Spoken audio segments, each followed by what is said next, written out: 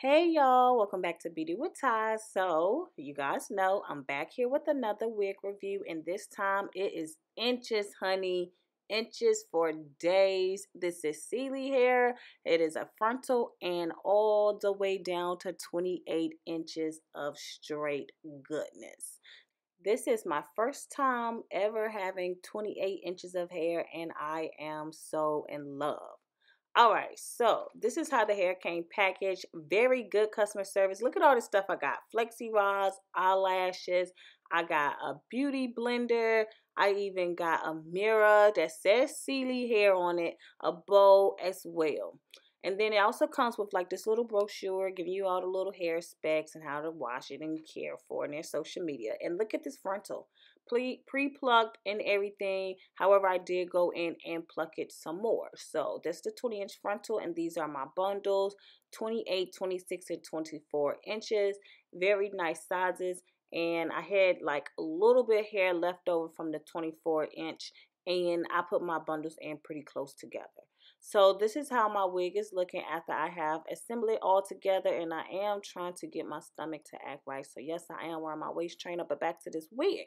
So this is what the hair is looking like, long and just really, really nice. So I'm taking my little handy dandy hot comb, pressing it all back. I want to be a real cute middle part. So now I'm just taking my curlers there by Olaxer and I'm going to curl the entire wig just like this. Um, I do have a couple videos on how I curl the hair. So yeah, you guys go check them out. And bam, look at these curls popping ton.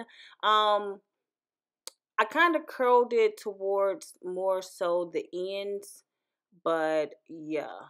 So here I'm going to take this Amber Jay, Can't Resist wax stick and this is better than my wax stick I've gotten from the hair store. It is really really good. It's like it's more moisturized but not greasy if that makes sense because my other one kind of gets really greasy but this one's like it has the moisture but it doesn't give off like a greasy effect just a couple swipes and look at this so now as y'all see my lace is kind of not the right color so I just put some makeup on it so to look right so here of course, if you want to keep it like that without any baby hair, you can definitely keep your edges like that. So we're just going to slide this wig back so that I can apply it with one layer of Ghost Bond. I'll leave a more detailed video link down below. But I'm only doing one layer. I find that it holds a little better when I do one thin layer. And it'll hold for about four to five days. After that, it's time to take it up and redo it again. So I'm just fanning it until I get it clear.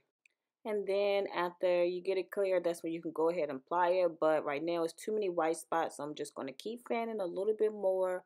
And then I will go ahead and apply it when it's like very few white spots, if not none at all. So I'm just pushing that down, pushing a little bit of the baby hair into it as well to kind of like lay on top of the lace so to be more seamlessly.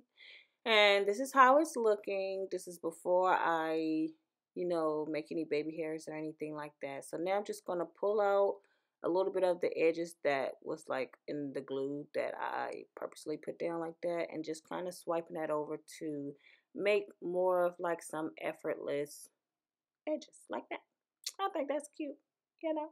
So that's how it was day one and then um yeah this is what the curls are looking like really long everything and then I went back. I took the wig off and then I put it back on like three days later.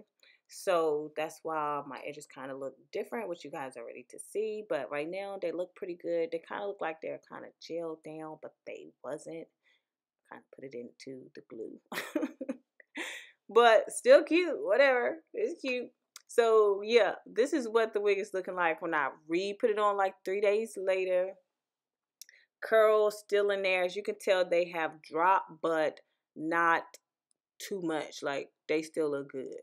And um yeah, that's what my edges are looking like. This frontal was the bomb, really, really easy to work with and all of that. Didn't have any problems with the frontal. So here I'm just going to go ahead and separate the curls that have like kind of reformed on the wig. So I'm just separating those curls, showing you guys this hair. Like It looks gorgeous.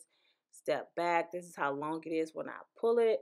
But I'm loving this hair with the curls because when I tried to straighten it, it didn't get bone straight. So I was like, whatever, I'm going to just put some curls into it. I mean, it got straightened, but not bone straight. But it's giving me more of like a yucky, thicker texture. Um, this hair is, I think it's Brazilian. That's probably why. And as you can see, it comes all the way down to my booty cheeks, crack area. but yeah, this is what the hair is looking like. It is flowing, honey. You guys, y'all make sure y'all click the link down below so y'all can go and purchase this hair. They have some very good, affordable hair. And this is I have this hair on my head right now and it's been like I don't know, like five days ago I did this wig.